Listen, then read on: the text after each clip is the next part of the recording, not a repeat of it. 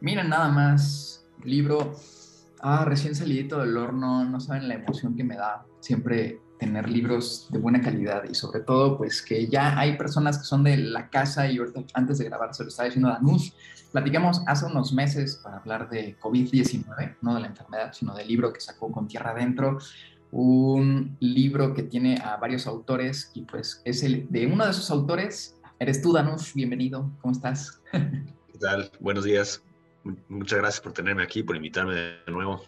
No, pues yo, yo encantado que el Fondo de Cultura me dijeron así de, oye, ¿quieres platicar con Danush? Y yo, pues por supuesto que sí, somos amiguis ya desde hace un buen rato ahí en Twitter, por lo menos, ya le traía ganas a la Biblia encarnada, ya me lo chuté, la neta es que por ahí estaba pensando eh, en uno de los pasajes de los cuentos, justo esta cuestión de cuánto tiempo le puede dedicar un autor a escribir. Ahorita platicaremos de eso, ¿no? Para que lleguen lectores como yo y lo lean en menos de que a dos horas ya me lo había chutado, yo creo que una ida y vuelta en transporte público ya estaba, pero pues encantado, la verdad es que me gustó un montón, algunos cuentos me pegaron más que otros, qué intenso aquel que empieza con un árbol alumbrado por las luces de una camioneta, eh, es dura la realidad pues, entonces pues quiero empezar primero con la pregunta, ya sabes, de rigor, ¿no? O sea, nos conocimos tú y yo con un libro, o sea, yo ya sé que has publicado varias cosas, sobre todo en colectivos, sobre todo en revistas, sobre todo en Tierra Adentro, en algunos otros espacios, pero si no me equivoco, este es tu primer libro, así, con Danush Montalvo al principio así estelarizando como protagonista y autor. ¿Cómo te sientes? ¿Qué tal? Ha sido un proceso bastante largo, yo supongo, entonces, ¿cómo te sientes? Sí, Sí, fue una carrera de resistencia. Bueno, es que hay algunos eh, escritores y escritoras que pues, mm, pues publican a la primera o, no tardan tanto. Eh, a mí me tocó pues, esperar muchísimo, ¿no? Que me empecé a dedicar, digamos, profesionalmente o de manera más seria, eh, ya apuntando a querer publicar desde el 2015. Y pues pasaron siete años para que se realizara el sueño, ¿no? Entonces sí, sí me costó un poco de trabajo. y sí es mi primer libro, entonces pues, estoy muy contento, ¿no? Es el primogénito. Perfecto. ¿Cómo, cuéntanos, cómo fue esa primera vez que llegaste, no sé a qué librería? Yo, yo intuyo cuál, pero que llegaste a la librería, que lo viste en la entrada, en el espacio de novedades y casi, casi como ese momento yo siento que, eh, no sé, ¿te acuerdas de esta escena de El Gran Pez cuando el papá conoce a la mamá y se detiene el tiempo, ¿no? Yo, yo creo que es una escena así, pero a ver, cuéntanos más o menos cómo fue el momento en que llegaste a la librería y viste tu libro ahí. Fue en la del Fondo de Cultura Económica, la Rosario Castellanos. Claro. Eh, es una librería muy bonita, entonces pues también el escenario estaba propicio. Eh, y yo estaba muy nervioso, ya sabía que me, dijo el editor que ya estaba ahí, eh, porque yo lo había estado eh, pues chingando para que me dijeran, ¿no? que si ya salía o no salía, porque llevamos dos años esperando, ¿no? Que ganó el premio en el 2020 y el proceso de edición fue muy tardado también por lo de la pandemia y hasta el 2022 vio la luz, ¿no? Entonces fueron dos años de estar esperando, esperando, esperando y, y, yo temía que esa espera me hiciera pues, desencantarme, ¿no? O no sentir tanta la emoción, como que pues ya, ya lo tengo tan reflexionado, ya estoy medio cansado del proceso, ya quiero verlo, o sea, ya como que ya estoy harto. Incluso lo vi en terapia, así de que, ¿y qué pasa si no siento emoción? ¿Qué pasa si no me, me da el gusto que he esperado tanto tiempo? Y mocos, que sí lo sentí. o sea, llegué y lo vi en la mesa de novedades y se me movió el tapete muy, muy, muy fuerte y, pues me puse a llorar, la verdad. O sea, pues, sí, no, no metafóricamente, realmente estaba llorando ahí haciendo el oso enfrente de los demás eh, personas que iban a comprar libros. Imagino ante el guardia de seguridad que siempre es bien amable y en el fondo, ¿no? Así como, ah, sí. seguramente. bien joven, sí, sí, sí. ¿Está usted bien? eh, pues sí, es que soy el autor de este libro, ¿no? Yo me imagino la respuesta. Oye, pues qué emoción. La verdad es que es una experiencia que no cualquiera puede tener, ¿no? Y por eso yo es como de justo, a ver, quería ver cómo era esa experiencia, ¿no? Más o menos ya, más o menos ya lo había visto ahí en, en tu Twitter, pero pues escucharlo de viva voz es como de, es algo que yo creo que se lo deseo a cualquier autor en algún momento de su vida que lo puedan vivir, ¿no? Y pues ahora sí ya vamos a entrar así como de super cajón, ¿no? Eh, yo debo de confesar que no soy un ferviente lector tal cual de la Biblia, ¿no? Entonces para mí fue como un super reto, como justo entrar y leer eh, pues sí, sea, primero hice el ejercicio a la inversa. Lo que hice fue buscar tal cual el pasaje bíblico y a partir del pasaje bíblico aventarme a leer el cuento. Y después, como de tres o cuatro, dije, lo voy a hacer al revés. Me voy a aventar el cuento y después voy a leer, ¿no? Y yo creo que para los que nos están escuchando, creo que es un ejercicio más acertado. La verdad es que lo disfruté mucho porque es como a veces spoilearse un poquito, ¿no? Quizás en la trama, pero sí como en el, en el qué va a pasar. Entonces, eh, hagan eso. Pero pues de entrada partimos de este supuesto, ¿no? O sea, en realidad, eh, ¿qué tan encarnada está culturalmente en nosotros la Biblia, ya sea que seamos religiosos o no? Eh, hasta me siento como con los dichos de la abuela, ¿no? pueden dar para otras tantas historias más. Y pues, no sé, ¿cómo surge esta idea de, no sé qué, ahora sí como el cuento, la pregunta de primero, el huevo o la gallina? ¿Qué fue primero? ¿Empezar a escribir los cuentos y asignarles un pasaje eh, bíblico o del pasaje bíblico hacer el ejercicio de escribir un cuento que ya tenías ahí en la mente? ¿Cómo fue? Eh, pues ambas, porque son 25 cuentos, 20 de ellos los escribí para el libro, o sea, eh, vi la convocatoria, pero también cabe decir que los escribí para la convocatoria de premio y durante la pandemia, el, primer mes de la cuarentena, entonces salieron de manera muy veloz, algo muy extraño al escribir un libro, normalmente te toma mucho tiempo. Aquí fue, yo creo que la situación de estar encerrados y el miedo y demás, la soledad, lo que hizo muy propicio que se me tuviera este flujo, digamos, de inspiración o de concentración más bien. Eh, entonces, 20 de estos los escribí ya más bien pensando en pasajes que yo, a mí me interesan de la Biblia. Por ejemplo, este que mencionabas, que es un cuento muy oscuro, muy fuerte, eh, que pues salta mucho en, en, el libro porque muchos de ellos son más bien humorísticos o tienen cierto tono absurdo. Este no, este es un cuento muy fuerte. Eh, y agarré un pasaje que yo ya conocía y que es de los que más se critican con justa razón, porque son pasajes muy misóginos, muy machistas. Entonces volví a ellos y los leí, los pensaba, los reflexionaba, los, volví a leer y salía la historia, ¿no? Entonces así era el proceso de, de, al menos de 20 de estos cuentos, ¿no? Cinco de ellos ya los tenía yo escritos para otro proyecto o, o independientes, ¿no? Y, y como más bien los reescribí y les busqué un pasaje que tuviera alguna relación, ¿no? Entonces fue a la, inversa, digamos. Ok, ok. No, no, no, me imagino la labor como lectores para poder determinar cuál fue cuál, ¿no? Entonces yo lo dejaré. y no voy a decir, no voy a decir. ¿no?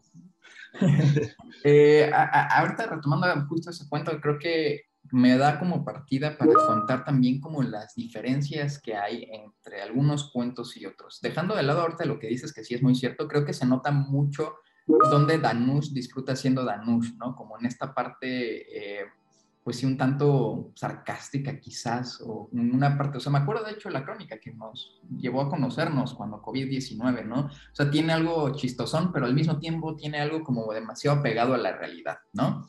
Ese está muy apegado a la realidad, lamentablemente no tiene nada de chistoso, ¿no? Pero a mí me encanta justo esta mezcla de encontrar diferentes tipos de cuentos, ¿no? O sea, hay uno hasta incluso un tanto distópico por ahí, ¿no? Un tanto de ciencia ficción, al mismo tiempo de que retomas autores que pues para nosotros nos han clavado mucho y voy a decir que Carl Sagan es uno de los escritores más increíbles que puede haber de ciencia, ¿no? Sobre todo porque sí le sabía y sobre todo porque pues, escribía muy bien, ¿no? Y pues no sé, eh, a mí me hace pensar justo como en esta parte de cómo fuiste encontrando eh, los momentos para escribirlos. Yo sé que fue en la pandemia, nos lo acabas de decir, pero no sé, ¿hay alguno, alguno en particular que lo hayas escrito así como con los ojos cerrados y ya casi ni nada de edición y algunos que los hayas tenido que perfeccionar más? O sea, la pregunta básicamente es, ¿Cuál fue el cuento que más disfrutaste o que escribiste más en friega? ¿Y cuál fue el que más trabajo quizás te costó?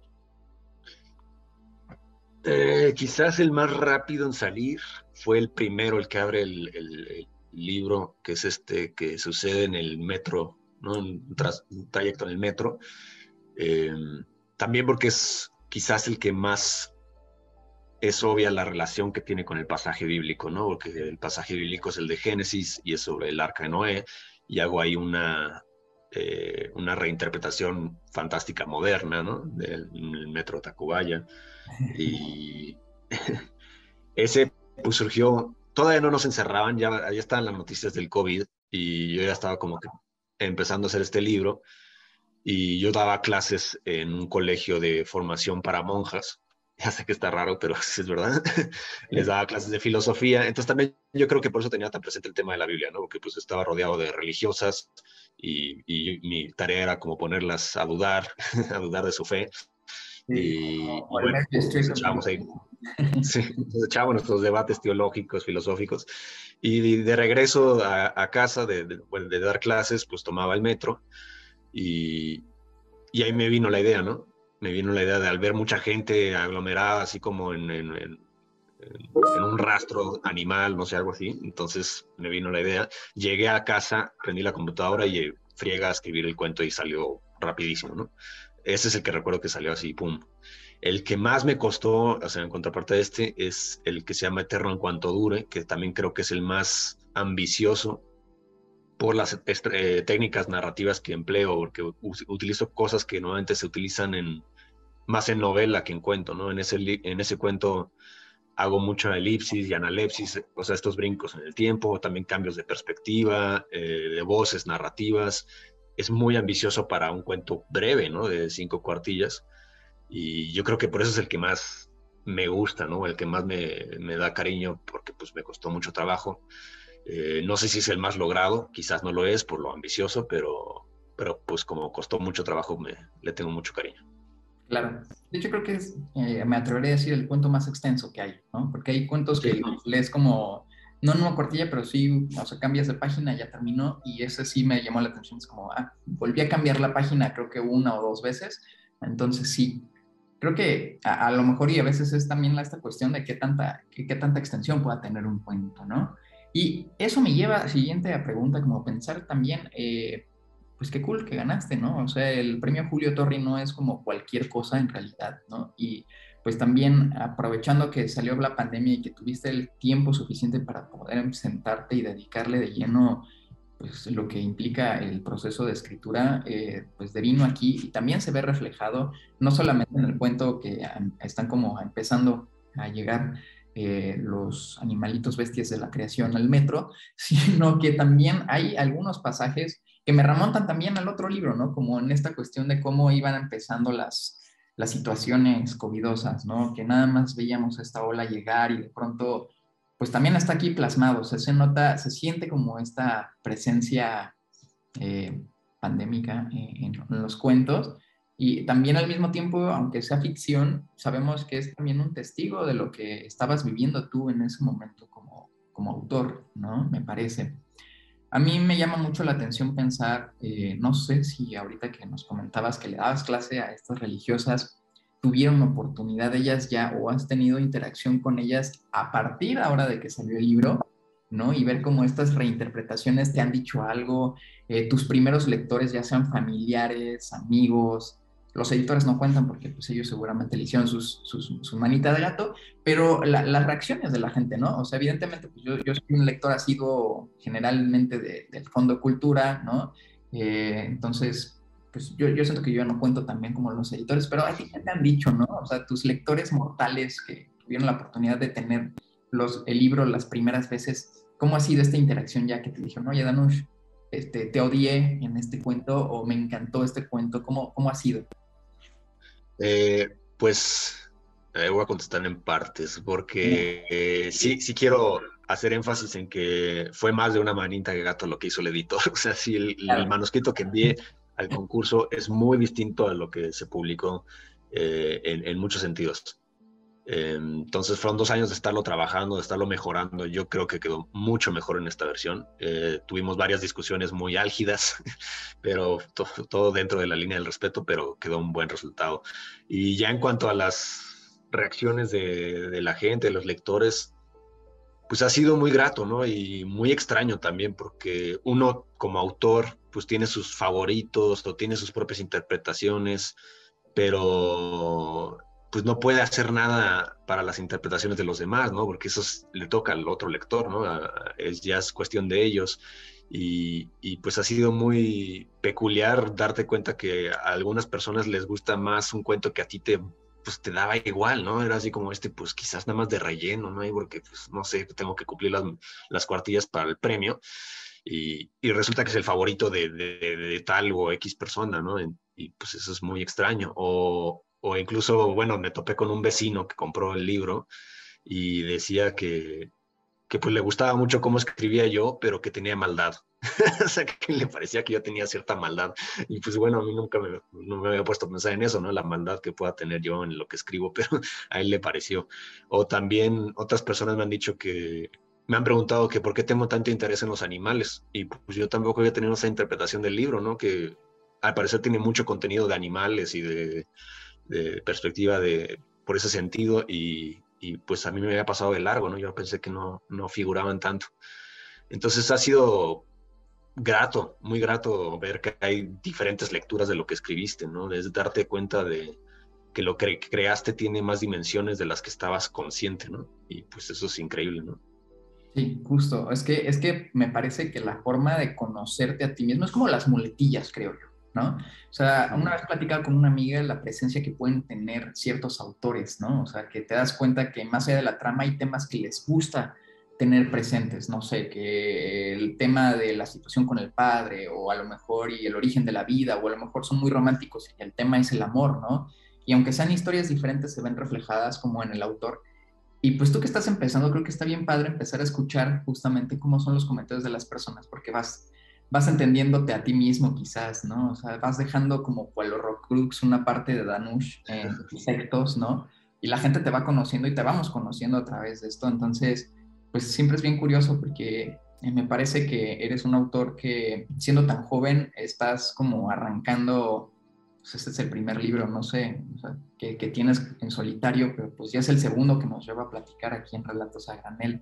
Estoy seguro que no va a ser el último. Entonces, eventualmente, ya cuando seamos este, viejitos, espero que no rancios, sino que seamos unos viejitos súper buena onda, pues podamos platicar igual así como, ¿te acuerdas aquel día que hablamos de la Biblia encarnada y qué te decía la gente? Pues mira, ahora ya ganaste el no, ah, no sé, puedes ganar, ¿eh? algo, ¿no? Eh, entonces eso, justamente, ¿no? Eh, la invitación para los que nos están escuchando es precisamente ver cómo eh, existe esta, este crecimiento en los autores, ¿no? Sobre todo. Entonces, yo estoy bien emocionado como de lo que se logró aquí y pues ahora lo que me gustaría preguntarte, sí, es sí, súper, súper, súper directo, es como en qué estás trabajando ahora. ya ahorita con la manita de gato que dices que no fue manita de gato, sino fue como más zarpazo de tigre, pues evidentemente, eh, eh, no sé, es como que siento que el proceso de edición, y no lo digo por los editores, sino por uno mismo, nunca termina, ¿no? O sea, a lo mejor en el deadline, así como, bueno, yo soy un mexicano que deja toda la mera hora, no sé cómo ella se tuvo a la convocatoria del, del, cuento, pero ¿te sientes, eh, ahora que lo relees o que has regresado al texto, si lo has hecho distinto. Han pasado dos años, en dos años evidentemente pudiste haber escrito algo más y decir, ay, como que este cuento no me gustó tanto. A lo mejor ya está, hubo algún cuento que guiño guiño hayas dejado fuera de este proyecto en el proceso. Eh, no sé, ¿cómo ves el Danush de hace dos años, post pandémico ahora? Pues sí, sí, algunas frases que pues me dan ñañaras, ¿no? O sea, el, que le dicen el cringe. O sea, sí es así como, ah, híjole, no sé si esto lo escribiría hoy en día, ¿no? Pero, pero pues siempre puedes escudarte diciendo, pues eso fue el narrador, ¿no? No fui yo. o sea, es un personaje, ¿no? No, no, no crean que yo pienso eso. Pero, pues ya ni modo, ¿no? Pues uno tiene que dejar las cosas, ¿no? Ya ese libro se cerró. Y como bien dices, uno podría continuar editando y editando interminablemente la obra, pero pues tienes que poner un punto final. Y, pues también eso es satisfactorio en su sentido, ¿no? También es dejar ir, ¿no? Ya escribir otra cosa. Y en cuanto a escribir otra cosa, pues ahorita estoy con el Fonca, eh, tengo la beca para el cuento y estoy escribiendo un libro de cuentos eh, que cada uno está relacionado con una receta de cocina. A mí me gusta mucho cocinar, seguramente has visto que subo fotos de comida, entonces ahí en Twitter. Y, pues... Las recetas. O sea, nada más nos antojas, gracias. No, si piden la receta, con mucho gusto se las manda. Ayer precisamente mandé una receta. Ah, muy bien, muy bien. Sí, sí, sí. Pero pues aquí son eh, recetas de cocina que pues, manejo y escribo un cuento a partir de la receta. Ok, ok, ok. Vamos a tener un recetario, no sé, este, hay cuentos, no como la novela de esta Laura Esquivel, que es más novela. Ok, pues se antoja, se antoja, se antoja. Y si incluyes la receta, pues ya tenemos como la labor nosotros de lectores escribir, eh, hacer la receta, sí, y leer mientras estamos comiendo. Creo que sería, yo, como, como dicen, challenge accepted. Me gusta. Eh, pues, la verdad es que a mí me gustaría mucho que las personas que nos están escuchando, si ya leyeron el libro, pues dejen aquí en los comentarios qué les ha parecido y si no lo han leído, pues la neta es que vayan, corran y que agoten este tiraje eh, para que tengamos una segunda, una tercera reedición. Eh, a mí siempre me gusta mucho la labor del cuento porque pues no es lo mismo que una novela que le pones una pausita, pones tu separador del libro y pues a hacer otra cosa mariposa. Y aquí es más como, no sé, según yo era un texto, ah, por ahí lo había escrito Edgar Allan Poe, como en esta parte de tú un libro o un cuento lo empiezas y lo terminas. Entonces es como leer, como ver una película, ¿no? Más, más circular. Y ese ejercicio es el interesante, ¿no? Así como lo empiezas, lo terminas y te llevas como pues, esta noción como inquietante o a veces graciosa y las diferentes tonalidades que tienen tus cuentos. Entonces, eh, pues muchas gracias por el espacio que nos diste, eh, poder platicar. No sé si hay algo que tú quieras decir más, que de repente se haya salido ahorita de la conversación. Si no, pues yo dejo las redes sociales aquí abajo siempre y pues la, la, abierta, ¿no? Pues solamente pues invitar eh, a la presentación pues, la siguiente semana, el miércoles 20 de julio, en la terraza del Cine Tonalá a las 7 de la noche y va a estar conmigo dos autoras muy reconocidas, esta Olivia Terova y Aura García Junco, entonces va a estar, va a estar divertido. Va a estar divertidísimo. Pues seguramente yo voy a estar ahí, entonces ahí nos veremos. Ah, perfecto. Le hace falta eh, la, firma. La firma, claro, sí, sí, sí. Eh, ah, pues le falta el otro, me voy a llevar COVID-19 de una vez. Ah, pues sí, de una vez, de una vez. Este, y para los que nos están escuchando, pues aprovechen y de una vez allá nos vemos. Seguramente va a haber eh, compra de libros, por si no lo tienen y no lo alcanzaron algunas librerías, porque algunas librerías sí ya lo tenían agotado creo que hasta la Rosario Castellanos tuvo su propia versión de Restock, entonces... Sí, ya, ya resultó. No hay pretextos, pues, ¿no? Y la pandemia, aunque ahorita ya está como bajando la última ola, pues sigámonos cuidando, pero afortunadamente ya no hay tantos decesos, ¿no? Entonces nada más hay que ir con... No, y este raza es cielo abierto, entonces yo creo que hay menos paranoia en ese sentido y, hay cervecita también, entonces eso lo hace más atractivo. Llegar y echarse una película, ¿no? Y ya entra a la presentación o viceversa, entra en la presentación y luego entran a ver una película, porque la neta es que el cine es esos espacios que hacen muchas cosas para tratar de mantenerse a flote, casi se nos lo, nos lo quitan en pandemia y pues miren... O sea, creo que es algo bien presente, ¿no? O sea, va a estar como un antes, de, un antes y un después de la pandemia. Claro, sí, totalmente. Danos, pues muchas, muchas gracias y de nuevo muchas, muchas felicidades. Eh, ya nada más para cerrar, eh, no sé si quieras, yo, yo espero a ver si sabes algo de la portada que está súper bonita, como este árbol de la vida. Eh, me, me, encanta como esta presencia y la estaba viendo justo. Ahí está.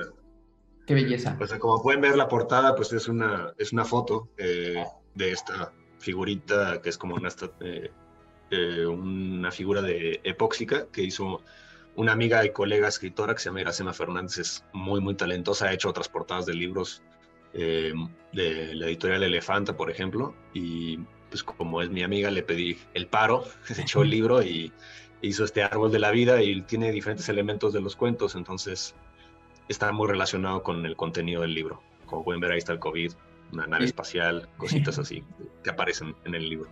El centro, hasta la bolsa. Esa bolsa es la que cierra el libro. Yo lo voy a poner. Con eso yo pongo el cierre del libro. Sí. Parador ahí. ¿no? Se hace un bonito detalle, sí. Entonces, eh, pues muchas gracias, Danush. Pues nos estaremos viendo ahora sí que en la presentación del libro y ahora que salga esos libros que está ayudando el Fonca a escribir, pues nos estaremos viendo de nuevo. Las puertas de a Granel siempre están abiertas. Muchas gracias. Muchas gracias, muchas gracias por la invitación. Gracias. Nos vemos. Vale, pues, hasta luego.